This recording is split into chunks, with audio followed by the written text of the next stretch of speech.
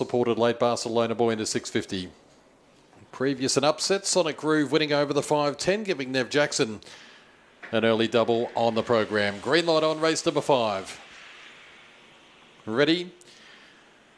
Racing, moderate beginning from Sir Banjo. Good speed out wide from Tommy Tuna. Now punching up. Roses Reader will hold the lead from Tufan Raja the inside and Tommy Tuna. Sir Banjo to fourth, but work to do from Little Spyro. Barcelona Boy Lomax last of all. Roses Reader will take stitching from here. Three clear on Tufan Raja. Sir Banjo runs home along the inside from Tommy Tuna, but it's all Roses Reader up the straight. Roses Reader by Three and a half on the line, very close for second out wide, Tufan Raja, also Banjo. Fourth in came Barcelona Boy, then Tommy Tuna, Little Spyro, last is Lomax. Two Roses Reader, Juanita Thompson, 591.70. Sir Banjo will grab second on the inside, 130, and Tufan Raja, 330 back in third.